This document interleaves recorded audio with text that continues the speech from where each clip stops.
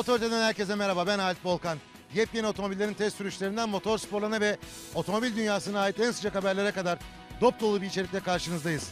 Emniyet kemerlerinizi bağlayın. Otorite başlıyor. Otomobil tarihi boyunca bazı markalar büyüyebilmek ya da ayakta kalabilmek için başka markalarla işbirliğine gitti hatta onların şemsiyesi altına girdi.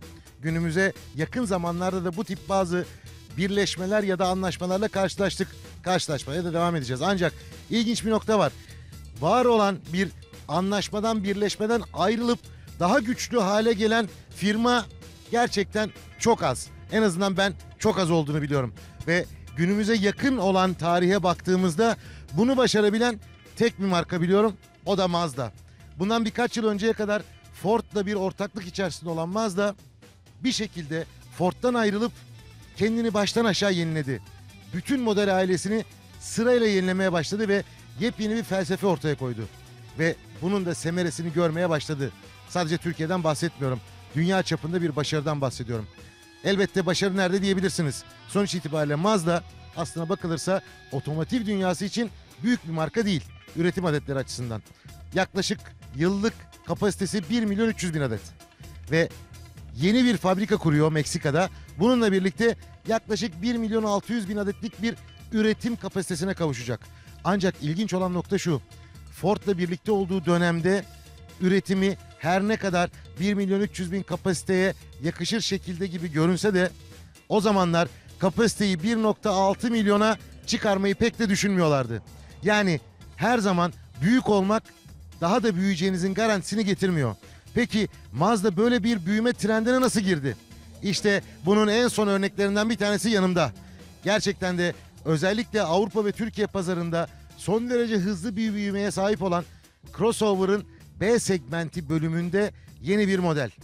Mazda aslına bakılırsa son 4-5 yıldır kendilerinin verdiği isimle Kodo tasarım felsefesi ve Skyactiv teknolojileriyle CX-5'ten başlayarak sırayla 6'yı, 3'ü ve 2'yi yenilemişti zaten. Ve hiç olmadığı bir sınıfa da CX-3 de dahil oldu. Ve bu otomobille hedefleri büyük. Gelelim CX-3'ün tasarımına. Öncelikle az önce iki kelimeden bahsettim. Biri Kodo, diğeri Jinba Ittai. Geçmişine bakacak olursanız Mazda Japon markalar arasında aslında en sportif temelli olanlardan bir tanesiydi zaten.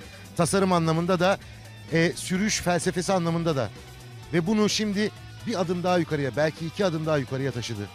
Kodo tasarım felsefesinde aslında temelde her şey sportiflik ve harmoni üzerine kurulu. Jimba Ittai ise kelime anlamı itibariyle baktığınızda atıyla binicisinin arasındaki ahengi vurguluyor. Tek vücut gibi davranmaktan bahsediyoruz. Ve bunu da otomobille sürücüsü arasında kurmaya çalışıyor. Bence bunun en güzel örneklerinden bir tanesi efsanevi diyebileceğim Mazda MX-5'ti. Yani Mazda'nın böyle bir altyapısı var. Peki CX-3'te tasarım olarak Kodo tasarım felsefesinde gelinen nokta açısından neler var? Bir kere her otomobille ilgili tasarım detaylarını veriyorum. Vermeye çalışıyorum. Ama genelde güzel, çok güzel ya da çirkin gibi kelimeler kullanmamaya gayret ediyorum. Fakat şu bir gerçek ki CX-3 kendi sınıfında bence en cesur ve en sportif görünen otomobil. Hatta çok yakışıklı demek zorundayım çünkü özellikle profil hatlarını biraz sonra göreceksiniz. Bana göre bu sınıfta yapılabilecek en iyi tasarımlardan bir tanesi. Burun tasarımından başlarsak aslına bakılırsa ailenin diğer üyeleriyle arasında çok büyük farklar yok. Özellikle de ızgara yapısı ve ızgaranın yere tam dik yapısı zaten tipik bir Mazda olduğunu gösteriyor. En azından yeni nesil bir Mazda. Ve farların ızgaradan daha geriye konumlandırılması, ızgaranın üst kısmından başlayan çizginin ağız doğru hareket etmesi ve böylece bir geniş çamurluk alanı ortaya çıkarılması gibi detaylar zaten CX-3'te yerini aldı. Bununla birlikte özellikle tampon altyapıya dikkat çekmek istiyorum. Bir crossover'dan çok spor otomobillere yakışır bir alt spoilerden bahsedebiliriz. Üstelik hemen iki köşeye yerleştirilmiş olan sis farları da bence bu sportifliği tamamlayan en önemli unsurlar arasında. Ama bence en güzel tasarım detayı ızgara ile farların bütünleşmesinde yaşanıyor. Son dönemde başka markalarda da buna rastlıyoruz ama bu kadar heybetlisini çok az görebilirsiniz. Gelelim profili ama önce boyutlar. Bu otomobilin uzunluğu 4275 mm. Aks mesafesi ise 2570 mm. Eğer uzunluğu bir kenara bırakacak olursak aks mesafesi bile bu otomobilin aslında küçük sınıf yani B segmenti bir otomobilden geliştirildiğini gösteriyor. Bununla birlikte 4275 mm'lik uzunluk da aslına bakılırsa kompakt sınıf hatchbacklere yakın bir değer ama küçük sınıfla kompakt sınıf arasında bir noktaya oturuyor. CX-3'ün profilinde 4 temel unsurdan bahsetmek istiyorum. Bunlardan bir tanesi en altta marşbiye bölümünde. Hem bir crossover olmasının getirdiği vurguyu sağlamak için çamurluklar plastikle kaplanmış hem de marşbiyeye krom görünümlü bir çıta eklenerek güzel bir kontrast elde edilmiş. Hem de otomobili daha şık gösteriyor, daha lüks gösteriyor. Bu birincisiydi. İkincisi aynanın altından geçen ama aslında neredeyse kaputtan doğan ve arka kapının ortalarına doğru kaybolan verev çizgi. Bu otomobilin ön tarafında güçlü bir etki yaratıyor. Arka tarafı da boş bırakmamışlar. Burada da hemen arka camın başladığı noktadan belli belirsiz start alan çizgi arkaya doğru gittikçe güçlenip stop lambalarıyla birleşiyor. Ama bence en şık numaralardan bir tanesi cam çizgisinde yapılmış. Öndeki cam aşağıdan başlıyor ve hatta biraz daha aşağıya doğru inerek daha sonra yukarı doğru bir dalga formuyla yükseliyor. Gerçekten de çok kolay cesaret edilecek bir cam çizgisi değil. Şu anlamda üretim maliyetleri anlamında bunu otomobile yakıştırmak anlamında ve karoserdeki diğer çizgilerle de bir bütünlük sağlamak anlamında. İşte bu otomobile profilden baktığımızda benim aklıma arkaya doğru daralan cam alanı sayesinde bir kupe geliyor. Mazda bu crossover'ı yaparken kupelerden ilham almış desek yanlış olmaz. Zaten profile dikkat çeken unsurlardan bir tanesi de ön tekerleklerden sonraki bölümün yani burun yapısının normale göre biraz daha uzun olması. O da biraz Roadster'leri yani MX-5'i hatırlatıyor. Bu açıdan bakıldığında normalde firmalar crossover yaparken genelde minivan ya da arazi araçlarından ilham alırken bence Mazda tasarımcıları Roadster'den ve elbette kupeden ilham almış. Gelelim arka tasarıma. Arka tasarım ön tasarım kadar iddialı değil. Ancak yine de Mazda'nın son dönemdeki diğer modelleriyle aşırı derecede benzeşiyor. Özellikle de ince stop lambalarıyla. İnce stop lambalarının kullanımı ve çok fazla ekstra çizgi kullanılmaması arkada geniş bir saç alanına sebep oluyor ama yine de özellikle bagajın tam alın kısmında iç bükey bir yapı ortaya konması ışık ve gölge oyunlarının arttırılmasını sağlamış. Arka cam da alışıldığın biraz ötesinde özellikle dışlara doğru oldukça daralıyor. Bu da işte kupe formunu biraz daha vurgulamanın yollarından bir tanesi. Elbette büyük spoiler de arka tasarımdaki önemli unsurlardan bir tanesi. Fakat bence en vurucu öğe tamponun alt tarafında. Bir çift egzoz. Halbuki bu otomobil dizel. Üstelik de 1,5 litrelik bir dizel. Ama yine de o sportifliği egzozda da göstermişler. Gelelim CX-3'ün iç mekan tasarımına. Baştan şunu ortaya koymak lazım. Hem tasarım hem de kullanılan malzemeler açısından CX-3 premium sınıfa yakışır bir iç mekana sahip. Peki bu kalite ve malzemeler veya tasarım öğeleri neler? Öncelikle bu otomobilin iç mekanı ve özellikle kokpiti Türkiye'de henüz satılmayan yeni nesil Mazda 2 ile Mazda 3'ün tam bir karışımı. Özellikle orta kısım ve sürücü tarafı iki farklı otomobilden alınmış gibi görünüyor ama çok iyi birleştirilmiş. Özellikle orta konsoldan yolcu tarafına doğru sade bir tasarım hakim. Bu açıdan bakıldığında kafa karıştırmayan ama elit bir tasarım olduğunu söyleyebiliriz. Özellikle de yuvarlak havalandırma ızgaralarının arasındaki ince bölüm son dönemde Volkswagen Passat'ta gördüğümüz gibi bir metal çıtayla birleştirilmiş gibi dursa da onun bir kısmı aslında üçüncü bir havalandırma ızgarası. Ve bu gayet iyi gizlenmiş. Elbette eğer simetriye çok önem veriyorsanız hemen bu orta konsoldaki gizlenmiş havalandırma ızgarasıyla çok oynamazsınız. O kesin. Çünkü onu yukarı ya da aşağı indirdiğiniz zaman o simetri, o düz çizgi bozuluyor. Ama bence çok iyi bir tasarım. Bunun dışında son dönemde özellikle lüks markaların bazılarında gördüğümüz yukarıya yerleştirilmiş ve kapanmayan ya da gizlenmeyen ekran CX-3'te de karşımıza çıkıyor. Aslına bakılırsa bu açıdan bakıldığında kardeşlerinden çok da farklı değil. Ama bu düz alanda bu renkli ekran gerçekten tek düzeliği bozduğu gibi işin içine teknoloji de katıyor. Kokpitlerde bizim alışık olduğumuz şey orta konsolun en yukarıdan başlayıp aşağı kadar uzanmasıdır. Ancak burada en üstteki ekrandan sonra havalandırma ızgaraları bölümü geliyor ve bir kesintiye uğruyor. Ve orta konsol bölümü bir anda ortadan kayboluyor. Bunun yerine biraz daha yükseğe tırmanan bir vites konsoluyla karşılaşıyoruz. Zaten bu ekrana yüklenmiş olan görevler nedeniyle birçok düğme de gereksiz hale gelmiş. Bu yüzden klima sistemi kumandalarıyla birlikte USB girişleri ve MP3 çalar girişleri vites konsolunda yerini bulmuş ve çok da aşağı yerleştirilmemiş. Özellikle klima kumandalarından bahsediyorum. 3 tane yuvarlak kumandayla bütün klima sistemini kumanda edebiliyorsunuz. Bence çok pratik, kullanışlı ve kafa karıştırmayan cinsten bir kumanda sistemi. Vites konsolundaki diğer önemli unsursa elbette merkezi kumanda sistemi. Yani ekrandaki bütün sistemlere, alt menülere ve ayarlara el freninin hemen yanına yerleştirilmiş olan bir düğme grubuyla ulaşıyorsunuz. Elbette bunların bir kısmı ana menü tuşları ve ortadaki döner ve basılabilir düğmede ayarları seçmek için kullanılıyor. Bulunduğu nokta itibariyle kullanımı kolay. Kafa karıştırmıyor ve üstelik de menü tuşlarının etrafa yerleştirilmesiyle bir noktadan sonra bunları alışkanlıkla hiç gözünüzü yoldan ayırmadan kullanabilirsiniz. Bence bu tasarımdaki en önemli unsurlardan bir tanesi mekanik el freni. Artık birçok otomobil markası modellerinde özellikle yeni modellerinde elektrikli el frenine yani bir düğme ile kumanda edilen el frenlerine geçerken Mazda CX-3'te hala eski tip fren sistemi kullanıyor. Bazıları bunu seviyor. Sürücünün karşısına geçtiğimizde tanıdık bir tasarımla karşılaşıyoruz. Mazda 3 ile neredeyse aynı. Direksiyon simidi, gösterge tablosu çok tanıdık ama modern. Direksiyon simidi büyük değil. Hatta bu sınıf bir otomobil için bence biraz daha bile küçük kullanılabilirdi. Bir sorun yok. Ele gayet iyi oturuyor.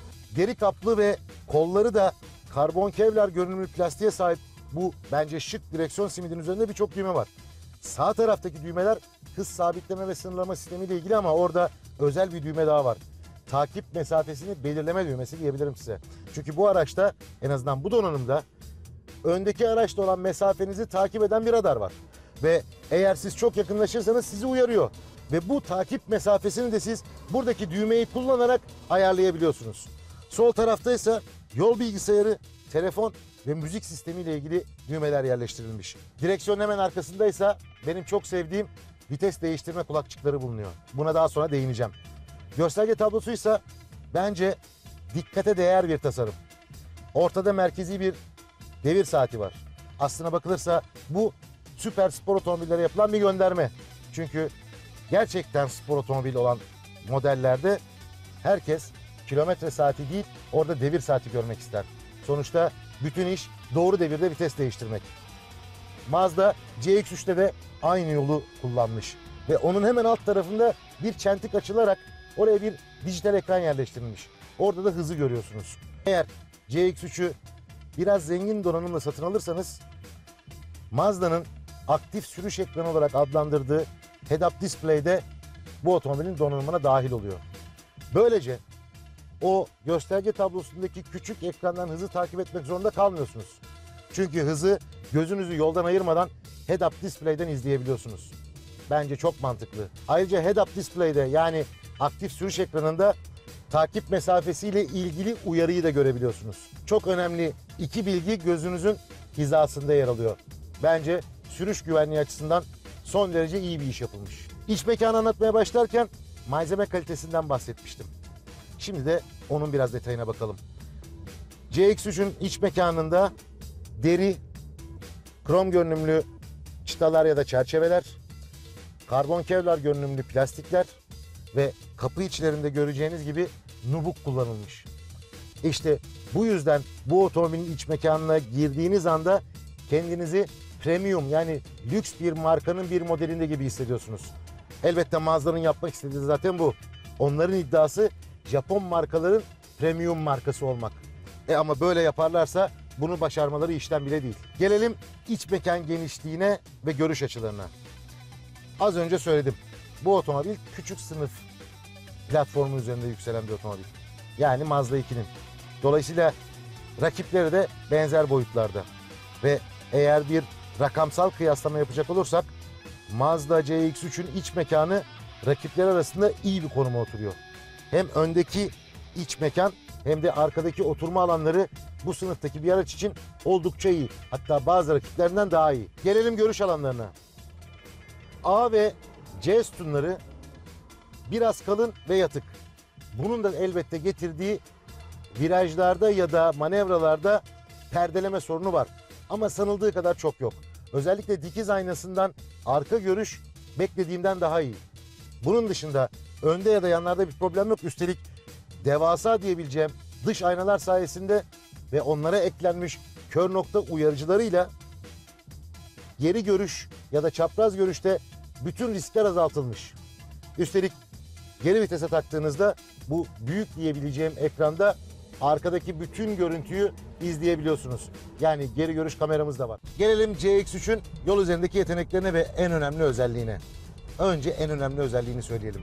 Bu sınıfta yani küçük sınıf ya da B segmenti crossover'da 1.6 litre ve altındaki hacimde dizel motora sahip, otomatik şanzımanlı ve dört tekerlekten çekişli tek model şu anda CX-3. İşte bu yüzden CX-3 pazarda çok avantajlı. En çok istenen ikili bildiğiniz gibi dizel ve otomatik. Ve bu otomobilde dört tekerlekten çekiş sistemi de buna ekleniyor. Birçok insan için çok önemli bir paket olduğunu söyleyebilirim. O zaman motorla başlayalım her zaman olduğu gibi. 1.5 litrelik dizel. Bu yeni nesil bir dizel. Hatırlayacaksınız Mazda'nın son dönemde yaptığı bu atılımdaki en önemli noktalardan bir tanesi de Skyactiv motorlardı. Ve özellikle hem benzinli hem de dizelde 14 bölü 1 sıkıştırma dünya rekoru olarak tarihe geçti. Ancak bu 1,5 litrelik dizel 14 sıkıştırmalı değil, 14.8'e 1 sıkıştırmalı. Yani o dünya rekorunu zorlamamışlar. Peki bu motor ne yapıyor, ne üretiyor, nasıl çalışıyor? Bu motorun gücü 105 beygir. İlk anda kulağa çok da fazla değilmiş gibi geliyor. Çünkü 1,5 litre ya da 1,6 litrelik hacimlerden artık 120 beygir ve üstüne doğru gidenler var. Kullanıyoruz bu motorları.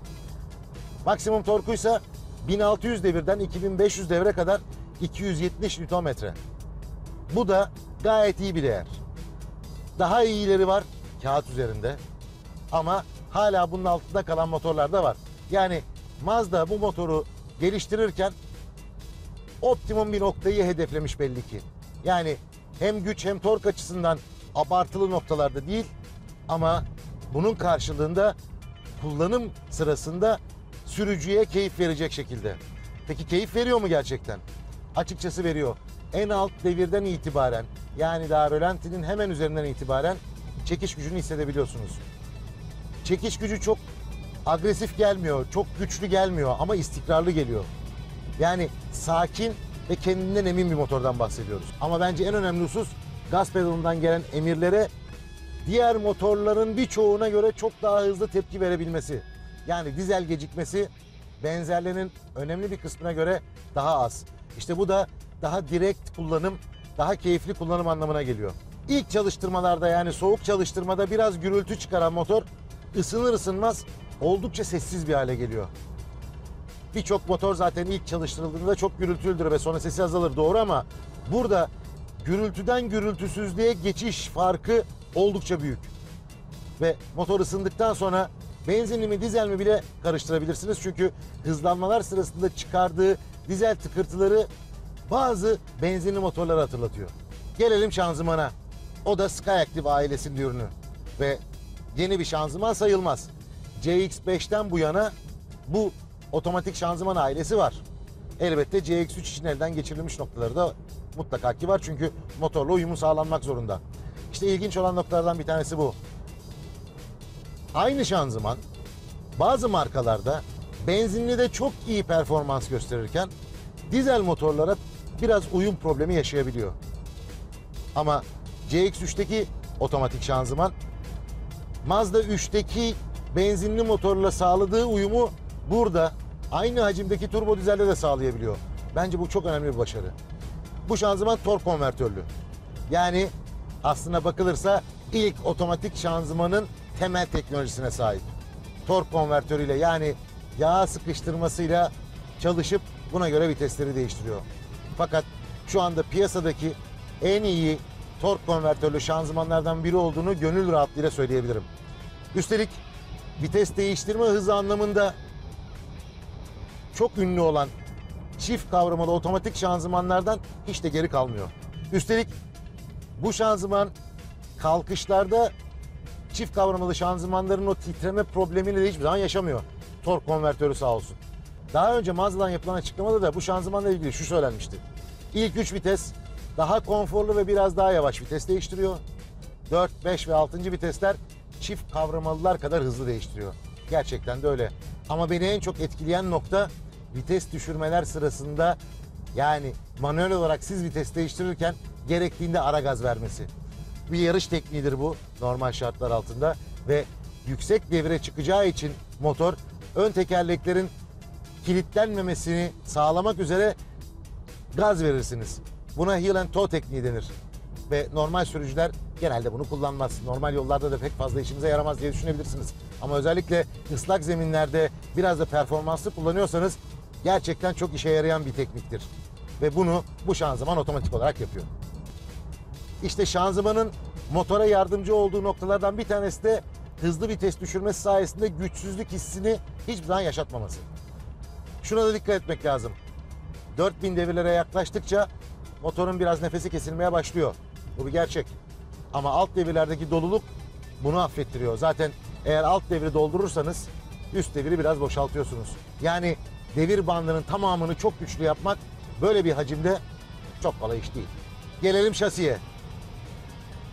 Bu sınıf otomobiller küçük sınıf platformunda daha yüksek otomobillerdir. Aslına bakılırsa CX-3'ün yaklaşık 1,5 metrelik yüksekliği çok yüksek sayılmasa da küçük sınıf platformu için yüksek. Ve bu yüzden de süspansiyon sistemleri bu tip araçlarda daha da sert yapılır ki virajlarda yana doğru eğilme azalsın, yol tutuş iyileşsin. Bu açılardan bakacak olursak CX-3'ün süspansiyonu evet bu sınıfın ortalamasına göre sert. Ancak darbe emiş konusunda çok yetenekli.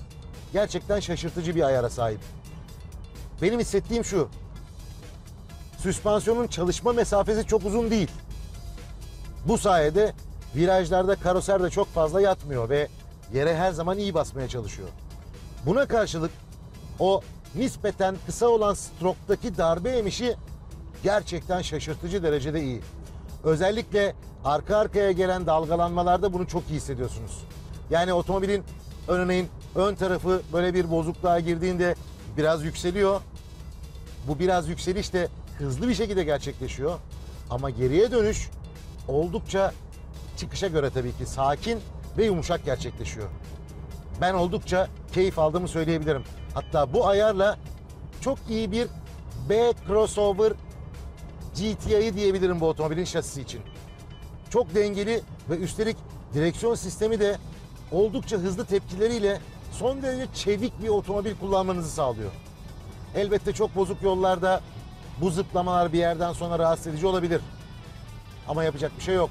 İyi yol tutuyorsanız biraz konfordan taviz vermek zorundasınız ki daha iyi yol tutuş için konfordan taviz vermek gerekliliğini sürekli söylüyorum ama CX-3'ün süspansiyon sistemi bu tavizi en alt seviyeye indirmiş. Hatta bu kadar sert süspansiyona sahip olmayan bazı rakiplerinden bile daha çok konfor sunduğunu söyleyebilirim. Özellikle hafif bozukluk koşullarında. Ve bu kadar sert bir süspansiyonun bu kadar sessiz çalışması da takdire şayan. Bu açıdan baktığımızda viraj performansı ve konforuyla aslına bakılırsa bir crossover değil, sanki hafif yükseltilmiş bir hatchback kullanıyormuş havasındayım. Gelelim yol tutuştaki bir diğer önemli unsura. Daha önce söylediğim gibi bu otomobil dört tekerlekten çekişli. Ancak bu dört tekerlekten çekiş sistemi profesyonel bir çekiş sistemi değil. Yani bir arazi aracına uygun değil. Zaten Mazda mühendisleri de bunu özellikle yağmurlu ve karlı havalarda size daha fazla güvenlik sağlamak için geliştirmiş. Normal şartlarda otomobil diğer birçok örneğinde olduğu gibi önden çekişli olarak çalışıyor. Ancak motor devrinden tekerlek dönüş hızlarına hatta yağmur sensöründen gelen bilgilere kadar birçok sensörden gelen bilgiler saniyede 200 kez kontrol ediliyor. Ve bu kontroller sırasında zeminin daha kaygan hale geldiğini belli edecek herhangi bir veri elde edilirse ön tekerleklerdeki gücün bir kısmı arkaya yollanmaya başlanıyor. Böylece otomobil bir anda ön tekerlekten çekişten dört tekerlekten çekişe doğru kaymış oluyor. Bu elektronik kontrollü sistem çok hızlı çalışıyor. Ve örneğin bir virajda kuru zemindeyken birden ıslığa girerseniz ve sistem bunu algılarsa hemen güç arkaya verilmeye başlandığı için viraj çıkışında da daha sportif ve daha güvenli çıkabiliyorsunuz. Hem güvenli hem sportif nasıl oluyor derseniz arkadan itişli bir otomobille virajdan çıkışlarda gaza eğer doğru basarsanız hem gerçekten çizginizi daha rahat muhafaza edebilirsiniz hem de daha hızlı çıkabilirsiniz. Ama bunlar ileri sürüş tekniklerine giriyor. Bunu bir kenara koyalım. Direksiyon sistemi az önce söylediğim gibi oldukça hızlı tepki veriyor. Gerçekten başarılı. Sadece düz gidiş sırasında biraz fazla küçük ayara ihtiyaç duyduğu zamanlar oluyor. Bence bu daha sonra bir yazılımla düzeltilebilir. Fren sistemine gelince hem yavaşlama hem de durdurma frenlerinde çok başarılı. Bence bu sınıftaki en iyi fren sistemlerinden bir tanesi CX-3'te kullanılmış. Gelelim yakıt tüketimine. Sonuçta dizel motorlu ve otomatik şanzımanlı. Üstelik bir de dört tekerlekten çekiş sistemi var. Sürekli çalışmasa da. Ve benim bu otomobille 100 kilometredeki ortalama tüketimim 6.7 litre oldu. Bence bu ağırlıktaki ve bu özelliklere sahip bir otomobil için gayet makul. Bu arada yakıt tüketimi ve dolayısıyla emisyonu düşürmek için kullanılan start stop sisteminin Mazda'daki versiyonunun adı iStop. Ve bu sistem bu dizel motorda gerçekten çok başarılı çalışıyor. Hem motoru durdururken hem de çalıştırırken bir titreşim hissetmiyorsunuz. Yani neredeyse hiç hissetmiyorsunuz. Ve çalıştırma zamanı da çok etkileyici. 40 milisaniyede bu sistem motoru çalışır hale getiriyor. Yani siz ayağınızı frenden kaldırıp gaza götürünceye kadar motor çalışmış oluyor. Mazda mühendisleri bu otomobilin sessizliğiyle ilgili de iyi bir çalışma yapmış. Kendi sınıfı içerisinde değil sadece, kompakt sınıfta bile dizel motorlu olup bu kadar sessiz kabin sunamayan modeller var. Bu da gayet iyi. Özellikle otoyol sürüşlerinde huzurlu bir kabin sizi bekliyor. CX-3'ün önemli avantajlarından bir tanesi de modern çağın gerektirdiği birçok elektronik güvenlik sistemine sahip olması. Bu açıdan Mazda çağı yakalamış durumda. Sonuç olarak Mazda CX-3 kendi sınıfında özellikle dikkat çeken tasarımı, motor ve şanzımanın uyumu ve sağladığı sürüş keyfi, şasisinin son derece sportif yapısına karşılık hala konfor sunabilmesi ve zengin donanımı ile birlikte premium bir otomobil hissi veren kalitesiyle bence bu sınıfın en iddialı otomobillerinden biri. Eğer bu sınıfta bir otomobil düşünüyorsanız Mazda CX-3'e mutlaka göz atın derim.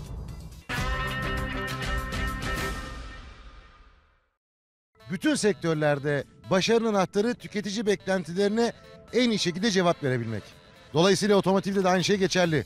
Ve otomobil markaları da pazardan daha büyük pay almak ve karlılıklarını arttırmak için tüketici beklentilerini karşılamaktan başka bir çare bulamıyorlar. Ve bunun için de tüketici beklentilerini hem ölçümlemeleri gerekiyor hem de rekabette öne geçmek için bir takım teknolojik yenilikler ya da tasarımsal yenilikler yapmaları gerekiyor. İşte Hyundai de bunun için en hızlı çalışan markalardan bir tanesi. Hyundai Avrupa pazarından özellikle daha fazla pay alabilmek için i30'da bir hamle başlatmıştı. Ve şimdi i30'u daha da iyileştirmek için hem tasarım hem de teknolojik anlamda yenilikler yapmaya devam ediyor. Yanında gördüğünüz i30'un en önemli özelliği otomatik şanzımanlı olması. Ama elbette daha öncekiler gibi bir otomatik şanzımandan bahsetmiyoruz. Artık Hyundai'da özellikle Avrupalı tüketicilerin çok beğendiği çift kavramalı bir otomatik şanzımana sahip ve üstelik bu otomobilde benzinli bir motor var. Daha önce otorite izleyenler hatırlayacaktır. i30'un dizel motorlu ve çift kavramalı otomatik şanzımanlı versiyonunu yayınlamıştık. Şimdi sıra geldi benzinli ve çift kavramalı otomatik şanzımanlı versiyona. Yine biz her zaman olduğu gibi tasarımdan başlayalım. Bir kısaca göz atalım. i30 aslına bakılırsa Hyundai'nin yeni nesil tasarımının ilk örneklerinden biriydi ve şimdi biraz daha da bazı noktaları törpülendi ve daha güzelleştirildi. burun yapısına bakacak olursak Hyundai'nin artık kendisine kurumsal kimlik olarak bazı Avrupalı markalarda olduğu gibi büyük ve altıgen ızgarayı tercih ettiğini görüyoruz. Bu yeni bir durum değil belki ama gittikçe daha belirgin hale gelen bir ızgaradan bahsediyorum. Üstelik daha aşağıda alındığı için özellikle Audi ile bir benzerlik söz konusu. Peki i30'un burun tasarımında her şey ızgara mı? Elbette değil.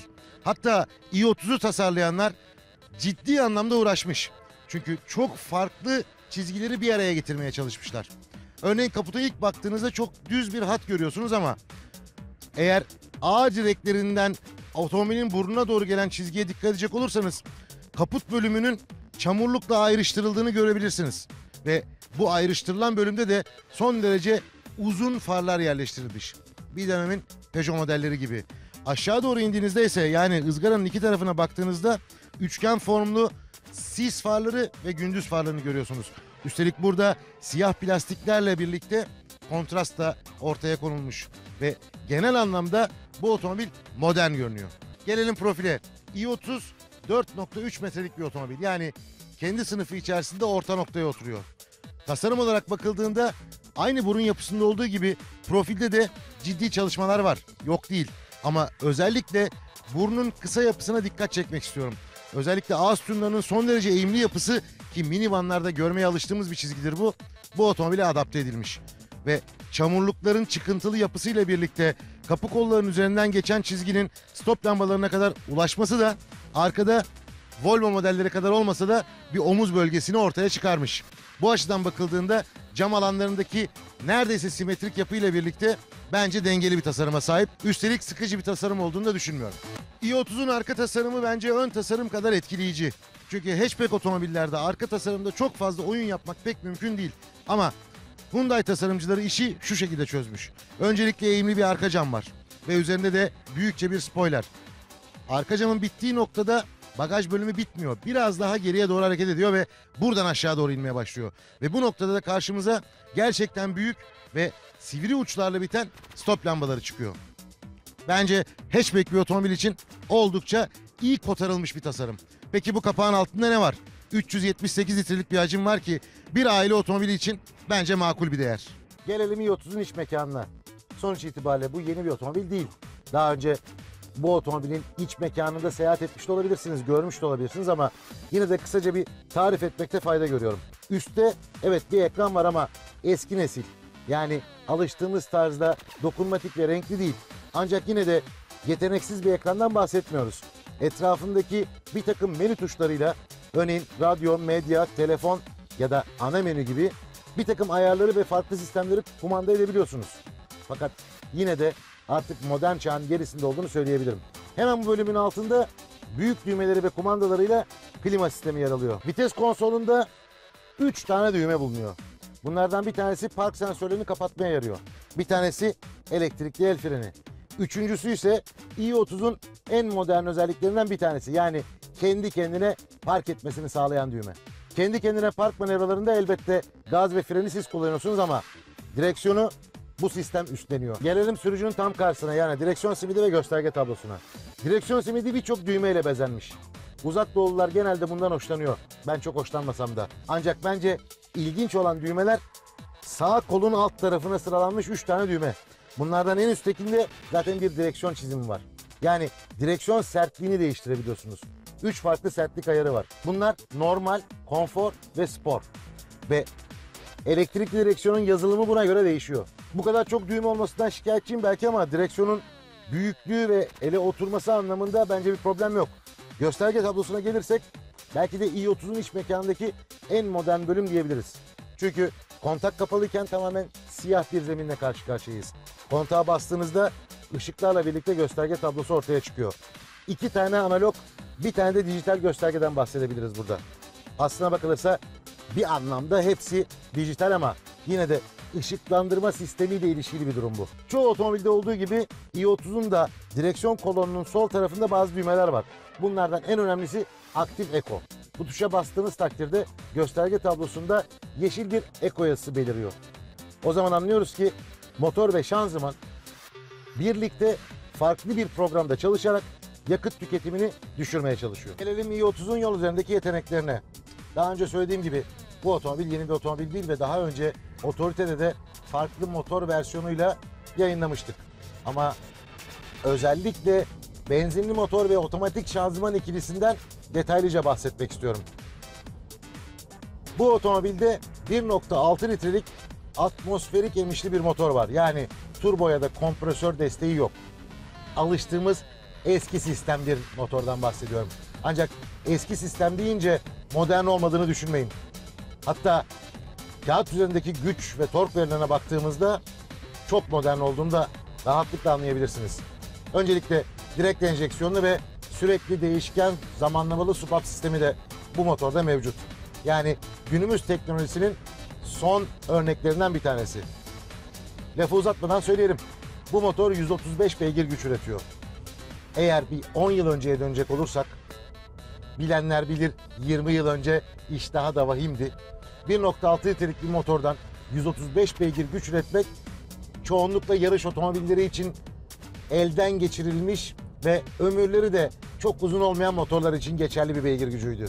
Ancak Hyundai mühendisleri böylesine küçük sayılabilecek bir hacimden aşırı besleme desteği olmadan 135 beygiri çıkarmayı becermişler. Gelelim torka. Sonuç itibariyle bana göre tork, özellikle de alt devirlerdeki tork her şeyden daha önemli bir otomobili kullanırken. Gelelim kullandığımız i30'un motorunun torkuna. 164 Nm. İlk anda atmosferik motorlar için gerçekten çok yüksek bir değer olduğunu söyleyebilirim. Buna karşılık üretildiği devir biraz göz korkutuyor. 4850 devir. E zaten bu tip motorlarda maksimum 6000 en fazla 6500 devir kullanılır. Dolayısıyla maksimum torkun 4850 devirde gelmesi aşağı devirlerde işin biraz kritik olduğunu da ortaya koyuyor. Peki gerçekten öyle mi? İster istemez otomatik şanzımanın desteği sayesinde aslına bakılırsa i30 1.6 benzinli size bu zayıflıkları pek fazla hissettirmiyor. Eğer manuel bir şanzıman kullanıyor olsaydık o zaman çok fazla vites değiştirme ihtiyacı duyabilirdik. İşte burada işe Hyundai'nin DCT adını verdiği yeni çift kavramalı otomatik şanzımanı devreye giriyor. Peki Hyundai niye çift kavramalı otomatik şanzımanı seçmiş olabilir? Elbette böylesine büyük bir yatırım yapacaksanız müşteri taleplerini en iyi karşılayacağını düşündüğünüz teknolojiye geçiyorsunuz. Hyundai'nin tercihi burada çift kavrama otomatik şanzıman olmuş çünkü özellikle Avrupa pazarında ve Türkiye'de de bu tip şanzımanlar daha gözde. Peki bu şanzımanların avantajı ne? Bu şanzımanlar iki tane manuel şanzımanın birleşiminden oluşuyor. Yani iki sıra dişlisi var vites seçimi için. Ve siz bir viteste ilerlerken diğer vites seçili halde bekliyor. Bu sayede son derece hızlı vites değişimi mümkün. Hyundai'nin açıklamasına göre bu şanzıman 40 milisaniyede vites değiştirebilme kapasitesine sahip. Yani göz açıp kapayıncaya kadar vites değişiyor ve siz bunu çoğunlukla hissetmiyorsunuz.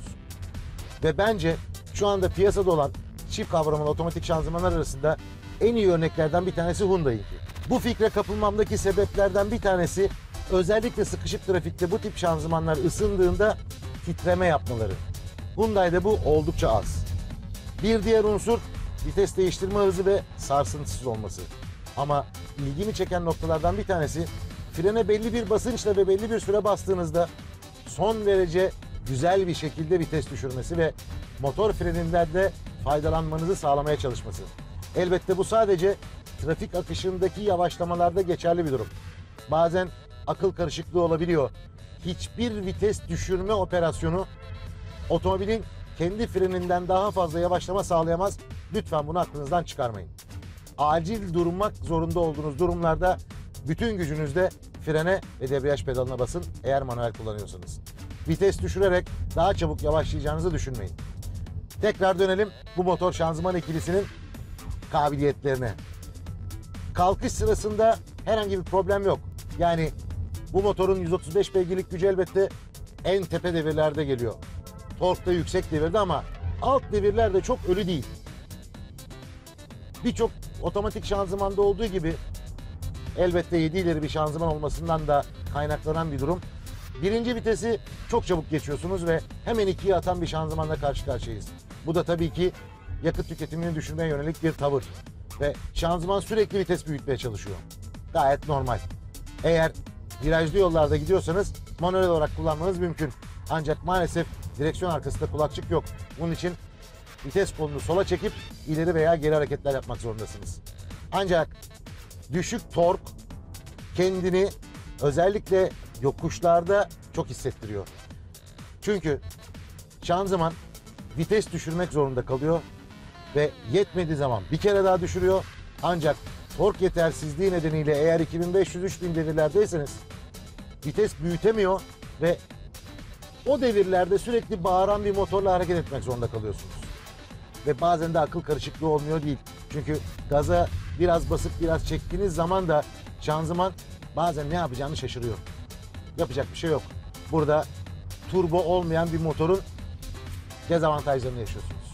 Sonuçta genel olarak bakıldığında 1.6 litrelik atmosferik motorla otomatik şanzıman sizin beklentilerinizi eğer çok yüksek performans beklentiniz yoksa kesinlikle karşılayabilecek kapasitede. Peki i30 yolda başka neler yapıyor? Öncelikle süspansiyon konforu anlamında ben başarılı buluyorum.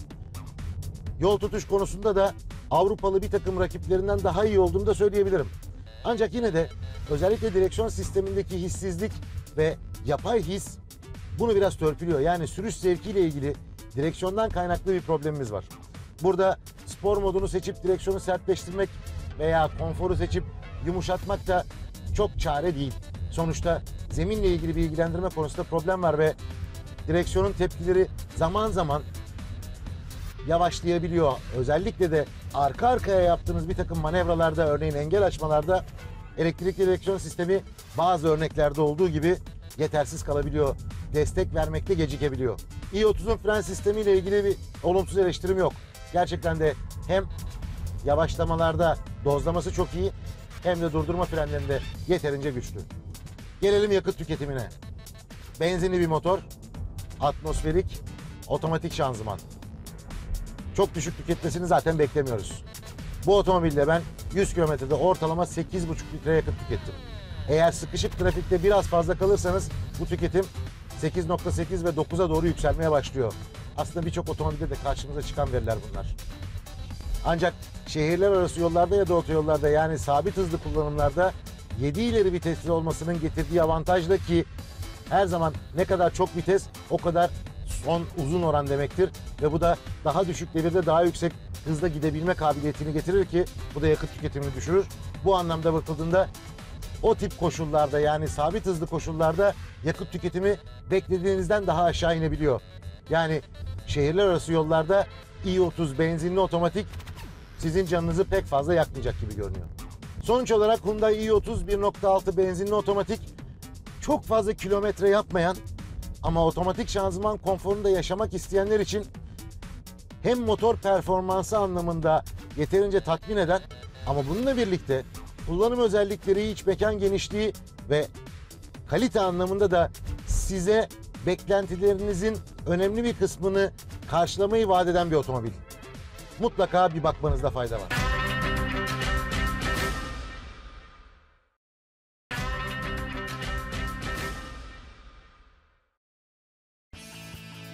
Bursa Alternatif Sporlar Kulübü tarafından 30-31 Mayıs tarihlerinde Çanakkale'nin Çan ilçesinde düzenlenen 2015 Türkiye Trail Şampiyonası 3. yarışı 8 takımın mücadelesine sahne oldu. 2 gün boyunca büyük heyecan yaşanan organizasyonda 16 araç ve 32 sporcu 8 takım halinde parkuru en kısa sürede geçebilmek için mücadele etti. Yardımlaşma ve offroad ruhunun ön planda tutulduğu trail'da sezonun 3. yarışında Ahmet Kurt, Fuat Sarper ve Şencan Özkurt, İsa Üstündağ ekiplerinden oluşan Bursa'dan Teleferik Offroad takımı birinciliğin sahibi oldu. İzleyicilerin de büyük ilgi gösterdiği yarışta ikinci sırada Seda Özkutlu Şah Haydar Argaç ve Soner Özkutlu Mehmet Emir ekiplerinden oluşan Aydof Trail Team yer aldı. Sert ve zorlu zeminde birçok ekibin zor anlar yaşadığı yarışta Emirhan Kutlu, Ali Çapan ve Uğur Demirci, Samet Aygül'den oluşan Teksof üçüncülüğü kazandı. 2015 Türkiye Trail Şampiyonası 8-9 Ağustos tarihlerinde Bolov tarafından Bolu'da düzenlenecek olan 4. ayak yarışları ile devam edecek.